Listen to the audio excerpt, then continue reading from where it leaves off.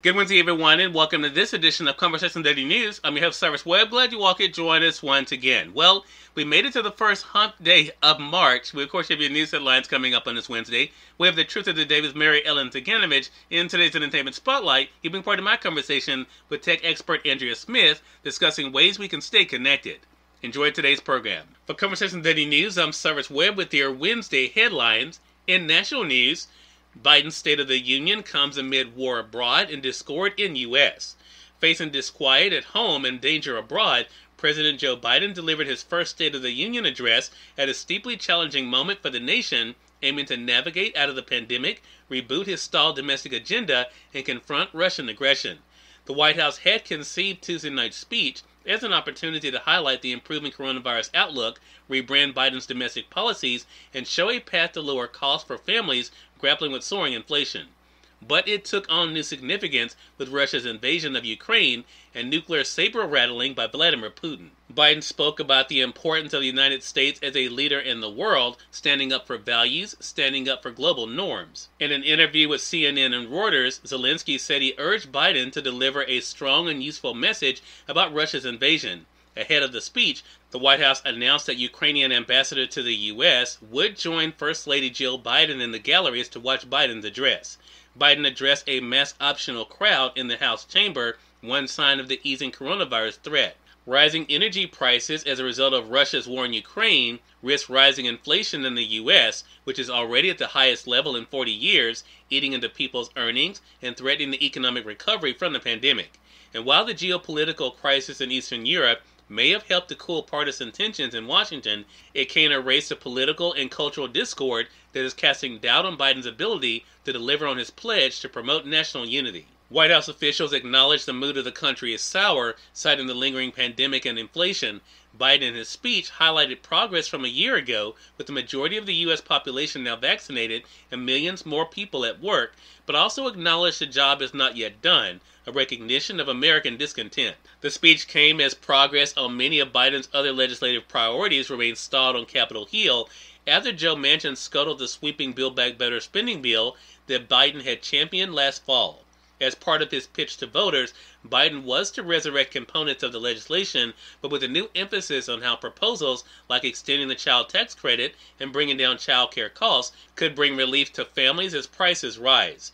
He also outlined how his climate change proposals would cut costs for lower and middle income families and create new jobs. In international news, Russian forces escalate attacks on Ukraine's civilian areas. Russian forces escalated their attacks on crowded urban areas on Tuesday, bombarding the central square in Ukraine's second largest city and Kyiv's main TV tower in what the country's president called a blatant campaign of terror.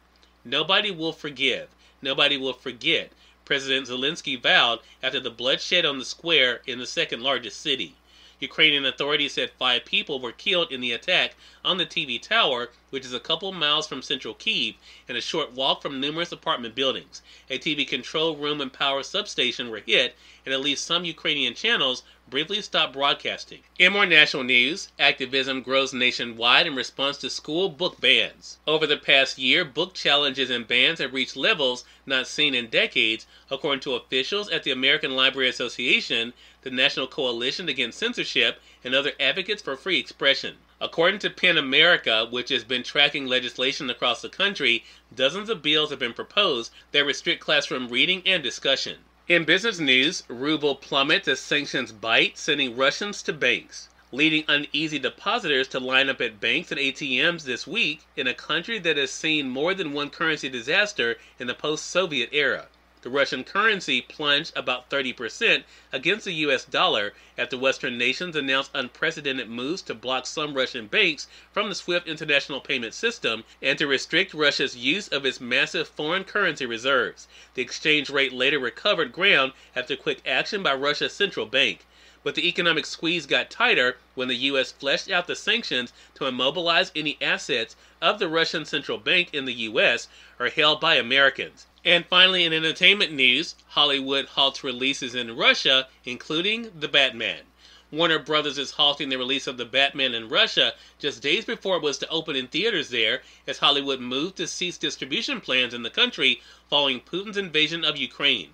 Warner Brothers, the Walt Disney Company, and Sony Pictures said on Monday that they would pause the release of their films in Russia.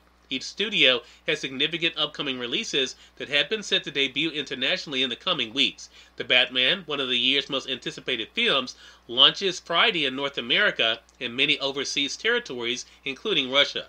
In light of the humanitarian crisis in Ukraine, Warner Media is pausing the release of its feature film The Batman in Russia, a spokesperson for the studio said in a statement. Cyrus Webb, Conversations Daily News. It's on time for the Truth of the Day with Mary Ellen Ciganovich. Mary Ellen, take it away. Hi, this is Mary Ellen with your Truth of the Day.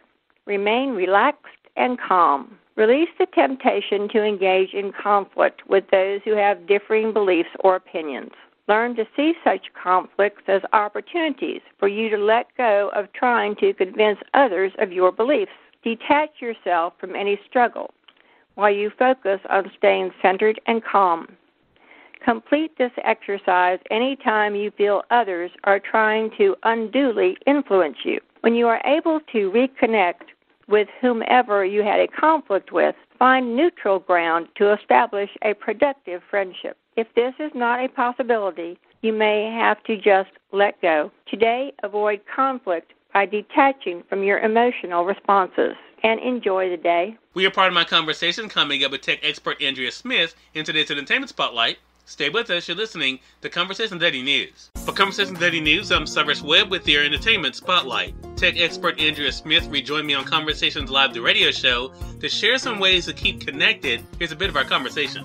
What are some of the best devices out there right now to be able to keep us connected with one another? So the way I look at it is your smartphone is really your foundation, right? It's the one device that keeps you connected to everything that you do. So you want the absolute best and latest technology and you want it running on the largest nationwide 5G network. So I would recommend the new Samsung Galaxy S22 lineup from T-Mobile.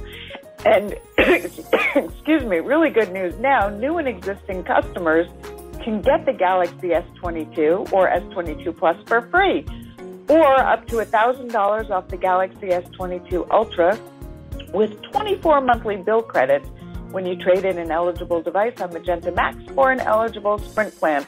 So that's really the foundation of all of your connectivity. It keeps you connected to everything you do. Can you share some ideas for those who are maybe looking for those at home office tools to help elevate their communication while at home? Absolutely. You know, all of us have kind of tried to carve out a little productive work from home space in the home. And sometimes it's not easy. You know, you've got to move from room to room depending on what other people are doing. And companies are really taking note of this.